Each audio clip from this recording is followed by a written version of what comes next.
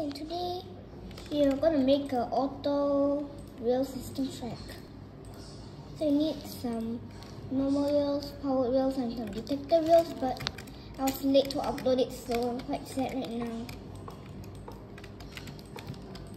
So you just need to place, oh wait, we need some flat first, then place the normal wheel, and then detector wheel, and powered wheel.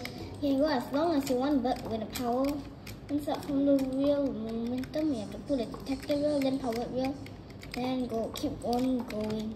Nice. So now let's test it out and skip the tutorial. I'm not trying to steal your videos. I was just late. Oh man. So skip tutorial. I'm not trying to steal your videos. I was just late.